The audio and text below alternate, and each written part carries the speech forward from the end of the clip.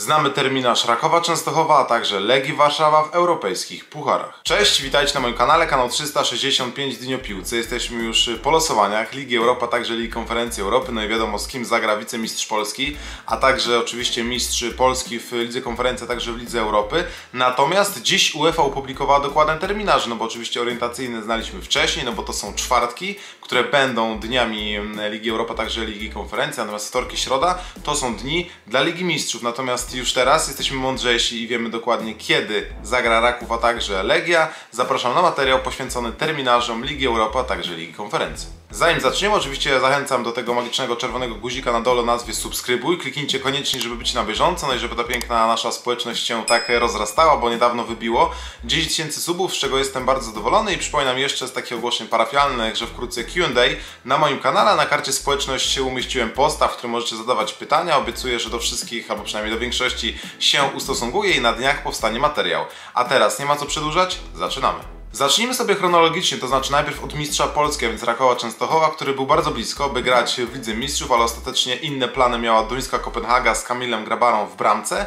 Ostatecznie to właśnie Duńczycy zameldowali się w Champions League, gdzie trafili swoją drogą na naprawdę dużą, e, na naprawdę duże trudności i trafili do grupy śmierci. Natomiast jeżeli chodzi o Raków, no to jest oczywiście Atalanta Bergamo, Sporting Lizbona, a także Szturm Graz. Natomiast tak wygląda terminarz, jeżeli chodzi o mistrza Polski i to jest najpierw, powiedziałbym, spotkanie bardzo trudne, no bo Raków zadebiutuje w europejskich rozgrywkach naprawdę z wysokiego C, bo jest to mecz w Bergamo z Atalantą, a więc teoretycznie z najmocniejszym rywalem. Później natomiast to jest 5 i 26 października, to są te mecze domowe, oczywiście domowe w cudzysłowie, no bo Raków rzecz jasna gra na stadionie pierwszoligowego Zagłębia Sosnowiec, spotkania ze Szturmem Graz, e, Szymona Wodarczyka, a później Raków rozgrywa swój mecz ze Sportingiem Lizbona. No i tak jak widzicie w terminarzu, te mecze rozgrywane oczywiście tylko w czwartki, co dwa tygodnie. Ostatni mecz to jest 14 dzień grudnia, no i to będzie spotkanie niemalże kończące rundę jesienną w wykonaniu medalików, no bo 16 mm, grudnia Raków rozgrywa swój ostatni mecz,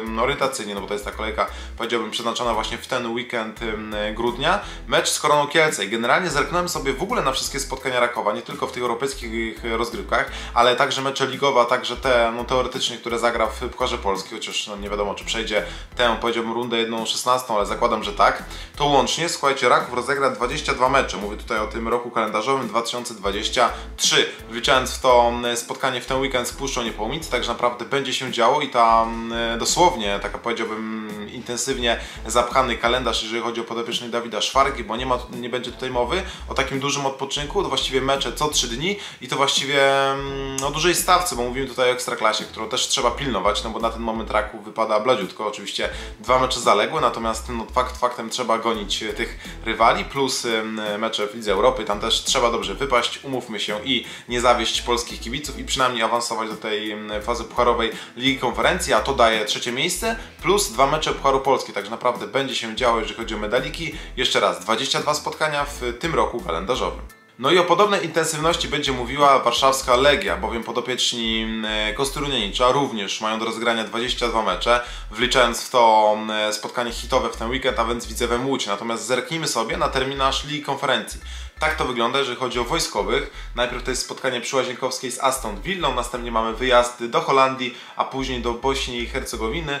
E, to jest konfrontacja odpowiednio z AZ, a także ze Zrinski. No i mamy później rewanża, więc 9 listopada Legia gra ze Zrinski, teoretycznie tym najsłabszym zespołem, więc warto tutaj, powiedziałbym, na przełomie tego października, także listopada zanotować dwie najlepiej efektowne wygrane, żeby gdzieś tam e, no, ułatwić sobie sprawę i też, e, powiedziałbym, awansować z pierwszego bądź drugiego miejsca. 30 listopada mamy wyjazd do Birmingham w, na spotkanie z Aston Villą Matego Kesha, no a kończy wszystko Legia, podobnie zresztą jak Raków, 14 grudnia, natomiast legioniści grają u siebie z AZ Alkmaar. No i tak to wygląda, jeżeli chodzi o terminarz, natomiast co warte podkreślenia, bo też wpisałem sobie specjalnie te godziny, kiedy mecze będą rozgrywane, jak mogliście sobie zarejestrować, też te godziny są różne, jeżeli chodzi o spotkania Rakowa, a także Legii Warszawa. Chodzi o to, że UEFA idzie na rękę generalnie i klubom, i federacjom, i przede wszystkim nam kibicom, i umożliwia oglądanie e, dwóch spotkań jednocześnie, to znaczy, że te mecze nie nachodzą na siebie, także ten terminarz też taki powiedziałbym dość zgrabnie wymyślony, no bo wiadomo, że tak jak wspomniałem na początku, wtorki i środy to są spotkania Ligi Mistrzów, no i tutaj jakby i prestiż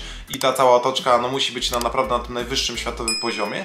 Natomiast jeżeli chodzi o te nagromadzenie spotkań w czwartki, no bo to jest Liga Europa, także Liga Konferencji, no tutaj tak łatwo nie ma. Te mecze będą rozgrywane w większości o tych samych porach, natomiast mecze klubów z tego samego kraju no są tak rozłożone, żeby tutaj kibic nie musiał wybierać i mógł oglądać zarówno konfrontację Legii, jak i Rakowa. Także myślę, że dla nas cudowna informacja. To jest taka nowinka, jeżeli chodzi o UEFA, bo dawniej z tego nie korzystano. Tutaj przy doborze terminarza właśnie sugerowano się tym. No i z takiego powiedziałbym geograficznego klucza wybierano te spotkania, więc no tak jak mówię, tym bardziej można się cieszyć. No i jeżeli chodzi o terminarz wicemistrzów Polski w tym roku kalendarzowym, no to podobnie jak Raków, 22 spotkania czekają jeszcze legionistów.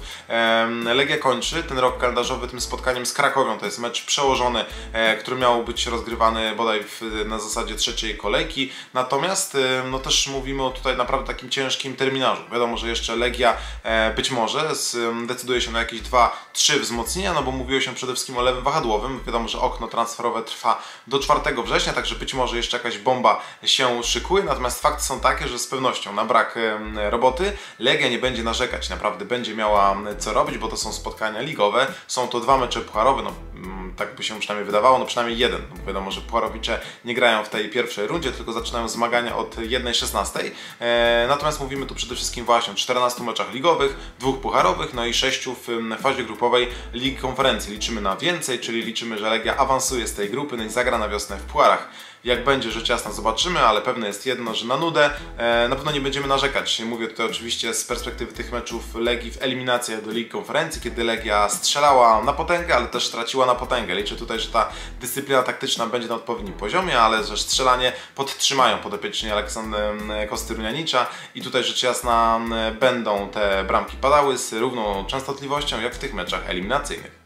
Jeszcze raz rzut oka na terminarz Rakowa Częstochowa, żebyśmy sobie to wszystko mniej więcej utrwalili i powiedziałbym wypozycjonowali, jeżeli chodzi o kalendarz, kalendarz tych najbliższych gier, żebyśmy wiedzieli kiedy nas czekają duże hity. No ja myślę, że ten początek naprawdę będzie emocjonujące starcie z kilku powodów. Przede wszystkim mówimy o konfrontacji z naprawdę mocnym rywalem z topowej ligi, więc to będzie takie fajne sprawdzenie dla Rakowa Częstochowa, dla piłkarzy z Jasnej Góry, żeby się powiedziałbym zweryfikowali na tle naprawdę dużych kozaków, no ale przede wszystkim duże święto. Mówimy tutaj o takim prawdziwym debiucie, no bo dotąd przypomnę tyle tylko Raków grał w tych eliminacjach, to jest kampania 2-1-2-2, 2-2-2-3, no i ta obecna, natomiast w samej fazie grupowej, no jeszcze nigdy Raków nie zagrał, więc myślę, że tym bardziej no to będzie gigantyczne wydarzenie, e, natomiast też no te mecze ze Sportingiem, czy domowe, czy wyjazdowe, no też z pewnością będą elektryzowały, ale myślę, że też będziemy żyli jako polscy kibice tymi meczami ze Szturmem, e, kiedy być może w barwach Szturmu będzie grał pierwsze skrzypce Szymon Włodarczyk, natomiast jeżeli chodzi o Legi, no to to pierwsze spotkanie, to już będzie takie naprawdę wejście konkretne e, z Kopa, liczę na na to, że tutaj Mati Cash, no nie chcę powiedzieć, że pomoże trochę polskim, polskim drużynom, natomiast też no, piłkarz, który naprawdę wygląda fenomenalnie, no i pewnie też będzie kluczową postacią w tym spotkaniu, no ale zobaczymy. Myślę, że jest na co czekać, będziemy czekać z wypiekami na twarzy na te spotkania Rakowa, także Legii. Zachęcam oczywiście do komentarzy, na które spotkanie Wy czekacie, no bo mówiąc szczerze też myślę, że tutaj na jakiś mecz trzeba się po prostu wybrać z takiego powiedziałbym dziennikarskiego obowiązku, no ale zobaczymy. Jeszcze no, sezon jest długi, ta generalnie cała cała runda jesienna wygląda bardzo ciekawie, więc no zobaczymy. Myślę, że na jakieś spotkanie na pewno się wybiorę. Dajcie znać w komentarzach, co myślicie, jakie spotkanie Was najbardziej elektryzuje. Koniecznie pamiętajcie, żeby zostawić subskrypcję, a także kciuka w górze pod filmem. Dzięki, pozdrawiam i do zobaczenia.